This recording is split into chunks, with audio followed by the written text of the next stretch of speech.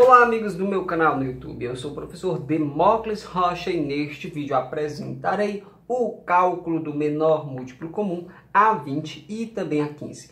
Qual que é o menor número natural não nulo, que é o múltiplo de 20 e também de 15. Antes da gente continuar, já deixe o seu like se você gosta dos nossos vídeos. Inscreva-se no canal se você quiser acompanhar os próximos lançamentos. Galera, a gente pode listar os múltiplos de 20, listar os múltiplos de 15 e observar o menor número natural não nulo, que é um múltiplo também de 20 e de 15. Observe, 1 vezes 20 é igual a 20, 2 vezes 20 é igual a 40, 3 vezes 20 é 20 a mais dá 60, 4 vezes 20 já dá 80. Vamos listar agora alguns múltiplos do 15. 1 vezes 15 é 15, 2 vezes 15 é 30. 3 vezes 15 é 45, 15 a mais. 4 vezes 15, colocando mais 15, dá 60.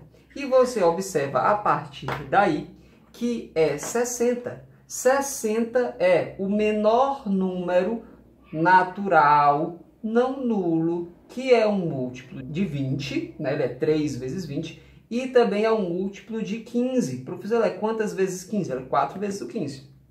Tá? Então já sei que a minha resposta é 60. Vamos treinar também o algoritmo da fatoração simultânea. Por que, professor? Se aqui foi tão fácil. Porque, gente, é legal você saber o algoritmo da fatoração simultânea. Às vezes, listar os múltiplos vai dar muito trabalho. Então, aprenda o algoritmo da fatoração simultânea também, ok? A gente começa testando a divisibilidade dos números que a gente tem pelos primeiros números primos naturais. Quais são os primeiros números primos naturais? O 2, o 3, o 5, o 7 e o 11. O 11, do 7 a gente pula para o 11. O 9 não é o número primo, tá? 9 é divisível por 3, né? Então, começamos pelo 2. Algum desses é divisível pelo 2? O 20 é. Então, escrevemos 2 na coluna da direita. Quanto é 20 dividido por 2? É 10 para cada. Então, escreva 10 abaixo do 20. Põe a vírgula para separar. Veja que 2 vezes 10 é 20, então 20 dividido por 2 é 10. Fácil desse jeito. 15 dividido por 2 dá uma divisão com quociente inteiro, uma divisão exata com quociente inteiro? Não dá. 15 dividido por 2 dá 7,5, professor. Pois é, mas a gente quer divisão com quociente exato inteiro, né? Então aqui não dá, então a gente repete. Tá? Algum desses é divisível por 2? O 10 é. Escrevemos 2 na coluna da direita. 10 dividido por 2 é 5? É. Até porque 2 vezes 5 é 10. Coloca a vírgula para separar, baixa o 15 aqui, né? A gente repete o 15, na verdade repete o 15, porque 15 não é divisível por 2. 5 e 15, algum desses é divisível por 2? Não. E por 3? Sim. O 15 é divisível por 3. Como o 5 não é, repita. 15 dividido por 3 é quanto para cada um? É 5 para cada, professor. Até porque 3 vezes 5 é 15. Ficamos com 5 e 5. O 5 é um número primo, então quem vem para cá é o 5 mesmo. 5 dividido por 5 é igual a 1. 5 dividido por 5 é igual a 1, até porque 5 vezes 1 dá 5.